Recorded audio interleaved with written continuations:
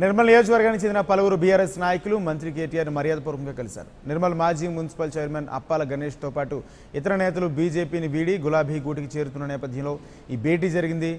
రానున్న అసెంబ్లీ ఎన్నికల్లో బీఆర్ఎస్ గెలుపుకు సమిష్టిగా కృషి చేయాలని ఈ సందర్భంగా కేటీఆర్ పిలుపునిచ్చారు.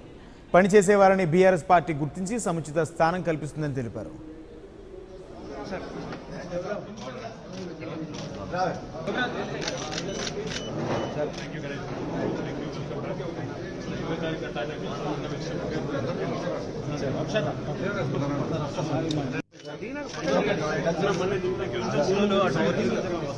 అరే అన్నా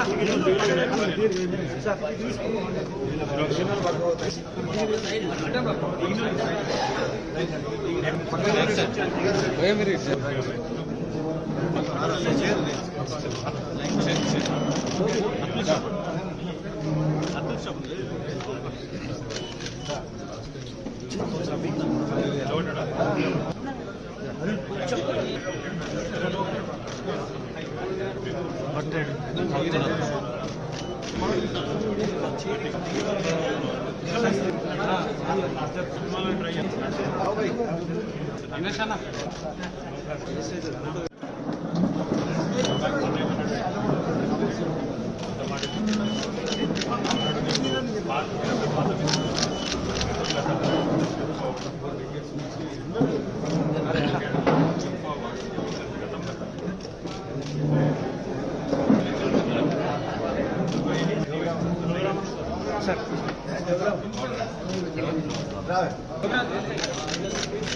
Thank you very much.